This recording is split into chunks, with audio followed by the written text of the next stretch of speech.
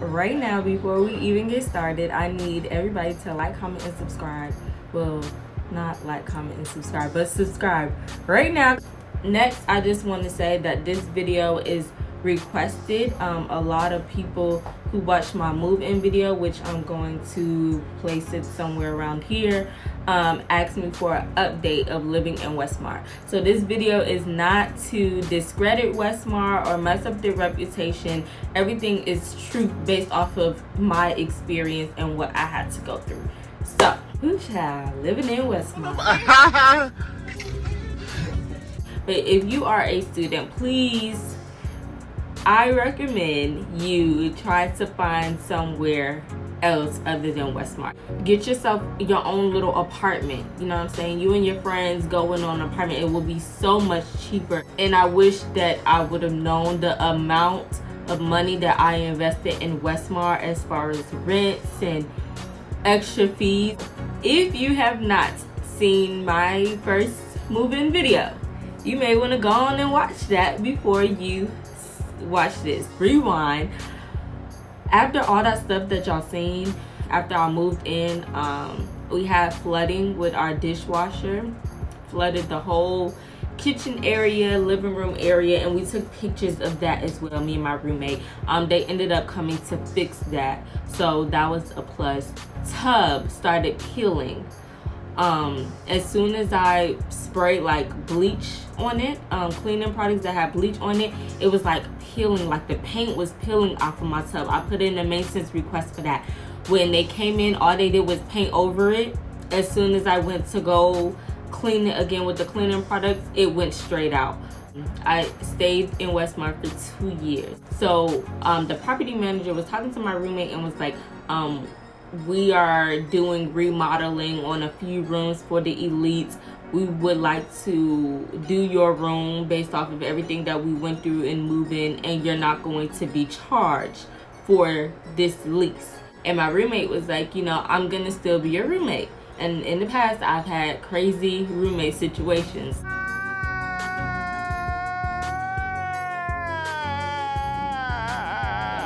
I'm like, okay, I got along with this roommate for the most part. Um, and I'm like, cool. Y'all, renewed my lease. That's when she told me that she's not renewing her lease, that she's moving out. Now, she had her own problems with Westmar. So I completely understand why she was like, no, I'm not having it. But that's another story. I'm not going to put her business out there. But just know it was real messy.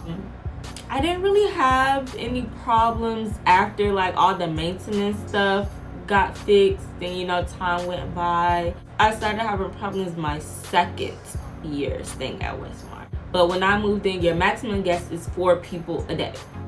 Prior to that, when you sign in a guest, your guest can stay for 48 hours and then you would have to re-sign them in that's when I first moved in. Started changing a lot of things. Of course, a pro would be we had a lot of renovations done to Westmar. So Westmar did not look like how it looks now, which is a plus. Um, we had a lot of upgraded, up, uh, upgraded um, things done to Westmar. So that was a plus, like new furniture, um, a better toilet, a better shower head, like things like that but a lot of other things got fixed and people wasn't having it. So one thing that got fixed that a lot of people was upset about was the guest thing. so i just said how when i first moved in your guest could stay for 48 hours. At 12 a.m if your guest spends the night at 12 a.m they need to come down and get a new parking pass because technically that's the next day.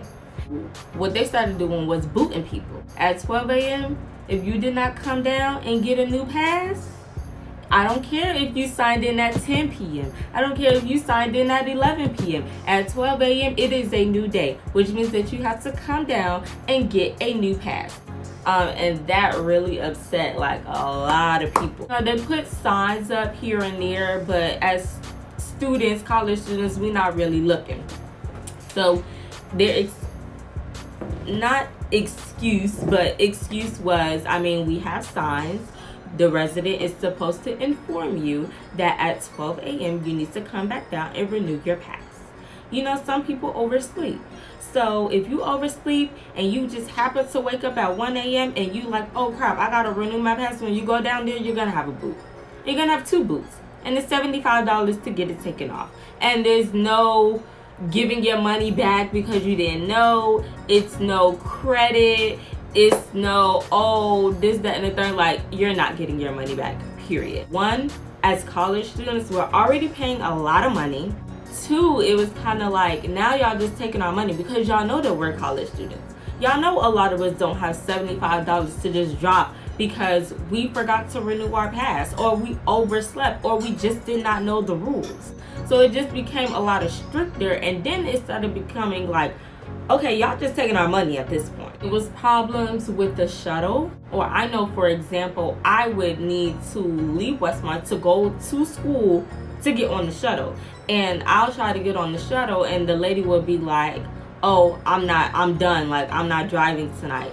But Westmar has a bus schedule, a shuttle schedule. And it's like, well, it says that the shuttle is leaving at 645. Why, why aren't you leaving right now? And so sometimes the shuttle drivers will have attitudes. And so it's kind of like, okay, the shuttle isn't running, the shuttle is not taking us to school, or the shuttle is late, and I mean like not five minutes late, not 10 minutes late, sometimes they'd be 30 minutes to an hour late, we're late for school. Or we're late for a meeting, or we're late for practice, and we're forced to take a Uber or a Lyft. And it's just like if a shuttle is a part of our experience living at Westmar, why do I have to spend extra money or argue with a shuttle driver to take me to school because it's student living, right? Also say like Georgia State and Georgia Tech had a bigger shuttle and the AUC, which is Morehouse, Spelman, and Clark, all had to share one shuttle. So it's more students in the AUC because it's three schools packed into one on a smaller shuttle bus than Georgia State and Georgia Tech, which is a few students. So that would be something I would say they should adjust I don't know if they've done it yet or if they've done it so far, but they should adjust. My packages started getting lost. Just one package, I had ordered a box of mink lashes from AliExpress. They was cute, y'all. They was legit. Like, I love these lashes. Um, and said it was delivered, said that it was signed off on them. My package was not found. Now, Westmar sends you an email when you have a package delivered got the email and everything, but my package was not found. I Couldn't file a dispute on it because AliExpress, my vendor from AliExpress, has a tracking number where it says, well, your package has been signed for.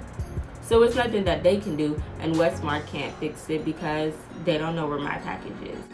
So even after I moved out of Westmar, I still have problems. So I had a package delivered while I was in Westmar and uh, I needed um, the same package sent to me. However, I didn't know that my address was still Westmar's address. So it got sent to Westmar after I moved out. But it was like, what, two weeks after I moved out. So I'm like, hey, you know, it says that I have a package. It was signed. It, it was delivered. Like, can I come pick it up? They're like, if you are not a resident anymore and the package is delivered here, we send it back. So I'm like, okay, I never got a tracking number or y'all could have at least told me that I even had a package. And so I'm like, well, I'm looking at this tracking number right now and it says that it is it has been delivered to your mailroom and that it has been signed and it's still there. And they couldn't really help me because they was like, well, we shipped out all the stuff that was supposed to be sent back um, to the sender I want to say they said like Tuesday or something. Mm-hmm. Y'all didn't scan it? Because at this point, I'm looking at if you're sending something back, it should have been scanned or an update or a new tracking number or something. You know, I contacted the business and they said that they never received the package. Another thing, I'm just like, dang, like I don't even live there anymore and I'm still having issues with y'all. Don't know where both of my packages are, by the way. They also find me after I moved out and I will also attach the video of my apartment when I moved out. Y'all will see everything. Um, they find me $155. They fined me for broken blinds, which my blinds were broken prior to me moving in. They fined me for a wall in my bedroom that looked like it was painted. I'd never painted my bedroom. Like, I've never painted my bedroom. So the paint had to have been there prior to me moving in. They fined me for the drawers in my bathroom because okay, like I could I can admit to that because I do makeup. So makeup powder or dust was in the drawers. Even though I cleaned it out, it was hard to get out. So they fined me for that. Okay, cool. They fined me for the Xfinity Wi-Fi box in my room because it had dust on it. And 9 out of 10, it had dust on it because I don't watch cable. I never even had a TV in my room. So I didn't even know the Xfinity Wi-Fi box was in the corner. So, um, so yeah, I um, got fined for that because it had dust on it. I don't watch cable, I don't watch TV, so whatever. And they fined me for the bathtub that was peeling, which I put in maintenance request for. So when I emailed them and I sent pictures and I sent videos, the only thing they took off was the broken blinds.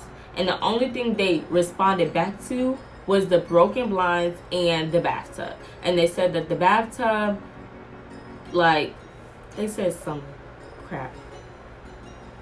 They didn't say anything about the Xfinity box. They didn't say anything about the painted wall. And they only took off $55. Um, so yeah, I ended up still having to pay $100 even though I included pictures and I included videos and y'all have seen how my room looked and y'all gonna see how it looked after like spotless. I made sure i cleaned up everything except for the xfinity box. I didn't know that was there. People started getting their cars broken into and this was the biggest issue. I don't even know how i forgot this. So jessica um, was at my place and she had picked me up from pageant practice and it was the night before um, the pageant so i got home at like three o'clock in the morning not even five minutes, y'all. Came back out, her window was busted, shattered, glass everywhere, and they stole all her equipment. They stole her MacBook, they stole her cameras, everything. so to security, I'm asking, can I see the cameras? There's no cameras right there. What do you mean there's no cameras right there? It should be a camera everywhere in Westmar just in case something happens like this. And you mean to tell me that there's no camera right in the front? where people are parked at to sign in couldn't help us police can't help us so not only was her car broken into and her stuff was stolen and it was not fixed other people cars started getting broken into people like residents and people who cars was in a parking garage started getting broken into and that's a safety hazard because as a, a parent who is dropping their child off to a student um, living housing, you need to tell me that there are no cameras. That's dangerous. My stuff is getting stolen. My car is getting broken into. Y'all can't pay me for the things that was replaced, all of that. So that's the last bad thing. But ultimately, anywhere you go, you're gonna run into issues. You can't stop danger. You can't start stop things from breaking. However, the only thing with Westmar, I just say accommodate. You do have um, Wi-Fi you already come furnished you have cable you have a computer lab with printing you do have to bring your own paper. Um, sometimes if the printer does not work you would need to bring your own printer paper down to the leasing office and they will print out your stuff for you. That's something that i did like um, there's a pool. We have a grill. Um, there was a track on the top floor.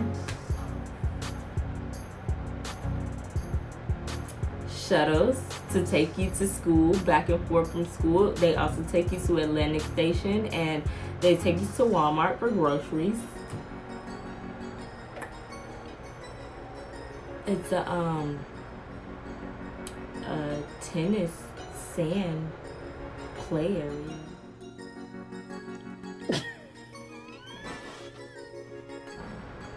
but yeah that was my experience in westmar me personally from my experience I don't think that is worth how much you was paying because my rent was uh, 988 a month. That's a lot of money for student living housing. And even though I had a two bedroom, we did not split the rent. And that's the one thing I can say you can cover your rent with financial aid. Y'all want to be free. You know, you live off of campus to experience the adulthood, to be on your own without the restrictions. And it's kind of like you're still living by restrictions, especially when you have to live by all of these guidelines and y'all want to invite your boo over, your friends over, and things of that nature. Um, I get it as far as safety, but the amount that you're paying to live in Westmar, there should be a lot of different things ran. Um, and just accommodation. Um, you just have to understand that we are students and we're still learning these being an adult we don't know everything even financially and i feel like when we look at westmar we look at luxury oh my gosh it's so nice here da da da da and then when we move in it's not what we expected and it's just not it but i'm living by my truth and again like somebody who lived in westmar may have a different experience but a lot of people who I know also had bad experiences. Hopefully more people can talk about their experience, but I only wanted to post this because it was requested by my last video. So make sure you like, comment, and subscribe. My name is Bryanna Monee, and yeah.